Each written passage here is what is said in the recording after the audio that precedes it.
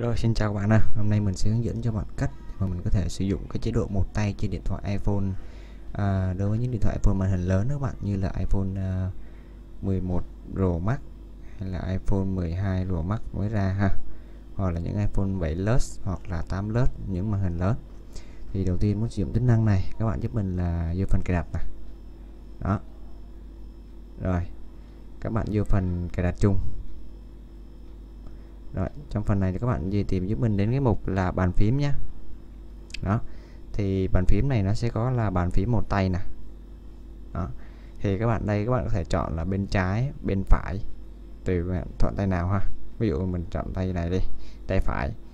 Thì các bạn chọn chế độ này, sau đó các bạn thoát ra. Rồi, các bạn vô phần nhắn tin này các bạn. Đó, các bạn chọn nhắn tin.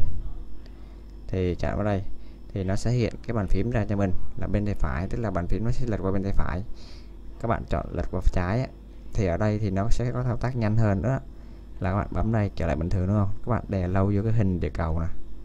Đó, thì nó sẽ nằm ở bên đây trái. Các bạn có thể thao tác bàn phím dễ hơn. Thấy không? Và chạm vô cái nữa, các bạn chọn bên tay phải hoặc là chọn qua giữa. Đó nào trái phải. Thì tùy các bạn thuận cái tay nào thì các bạn chọn cái tay đó nhé. Không nhất thiết là các bạn phải chọn theo mình. Đó. Thì cái mẹo này giúp cho mình có thể thao tác dễ dàng hơn trên uh, những điện thoại màn hình lớn. Rồi cảm ơn các bạn.